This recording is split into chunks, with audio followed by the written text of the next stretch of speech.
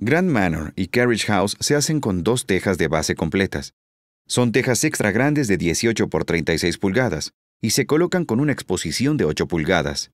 Cada teja completa lleva 5 clavos. El bastidor de columna vertical de 4 pulgadas y media sirve para ambos productos. Carriage House también puede instalarse en 6 hileras de 4 pulgadas y media en diagonal.